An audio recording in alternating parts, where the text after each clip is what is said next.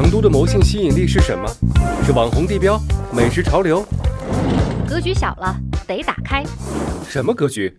七环城市格局、成员交融格局、区域经济发展格局。七环？没错，比五环多那么两环。现在到二仙桥，远不止走成华大道。走什么道？绿道，成都绿网千元，一步一园，蓝绿交织，这不过是成都一点点的颜值实力。还有什么实力？经济实力。成都是西部重要中心城市，连续六年位于新一线城市榜首，更有成渝地区双城经济圈加持。悄悄问一句，成都是不是家家有熊猫？何止家家有熊猫，成都处处见熊猫。不过别乱撩，人家可是国宝。